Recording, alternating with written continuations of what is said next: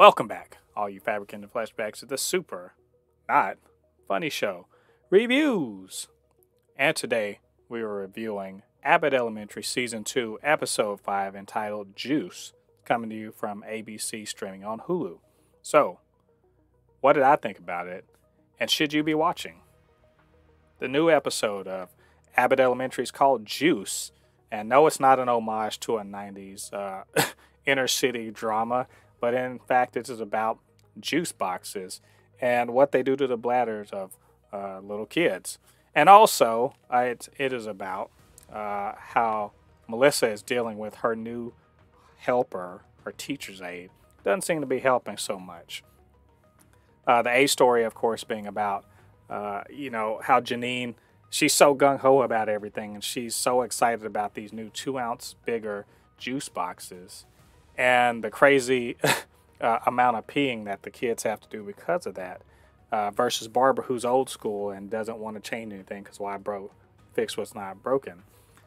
Uh, and so uh, within that context, uh, uh, her and Janine and Gregory's classes are just you know having to pee a lot to the point that and everybody, all the kids are that's getting the new juice and they gradually deplete all of the functioning uh, you know, all of the functioning bathrooms in the school. And it's really a clash of old school versus new school in the most hilarious ways. I mean, bathroom humor never fails to be fun. Uh, but I think what we see here for a change is uh, sort of uh, something we don't really see much from Barbara. Uh, just a bit of a, a bit of a mean streak, uh, and she actually raises her voice, and uh, she's really that you know upset and stern mom, I guess you could say, where she's literally telling Jean, like, you know, why are you trying to, you know, change things that are already fine? And it's it's really a lesson for Janine about, you know, when innovation or change is necessary or not. But it all comes together uh, in uh, some real fun moments wherein the um, uh, wherein the classes are, you know, lined up and everything. And there's this funny little boy that clearly he's the one that's breaking all the toilets and everything like that. Uh, it's quite fun, and also just uh, again, I feel like this is the growing of Janine and, and Barbara's relationship uh, in, a way that's you know in, in real conflict.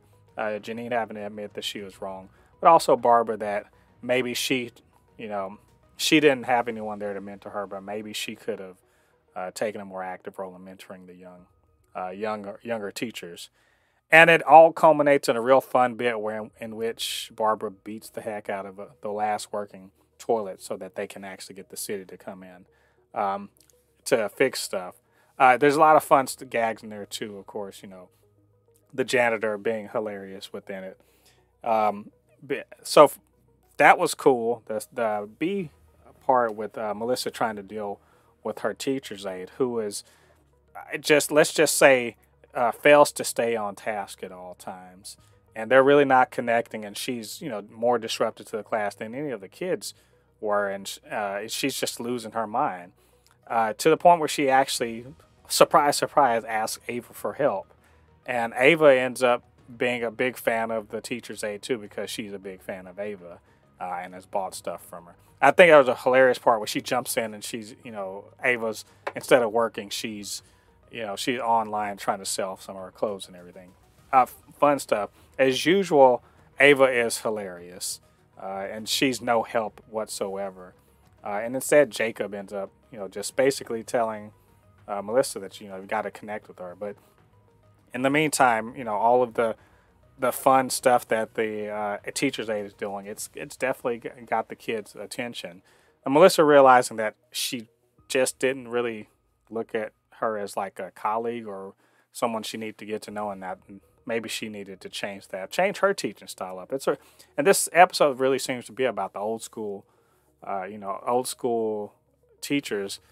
You know, maybe having to lighten up or or change up a little bit, or maybe just uh, give the younger uh, teachers or teachers aid a chance uh, in in this context. So uh, overall, I I had a good time with this episode. It's not my favorite episode of the season. Uh, but I had a good time with it. There's a lot of good and funny moments. Uh, I was really kind of surprised, but I shouldn't be that Sheryl Lee Ralph as Barbara. Uh, she really pulled off the Barbara as not not funny, but definitely you know, angry uh, and uh, you know, kind of showing it.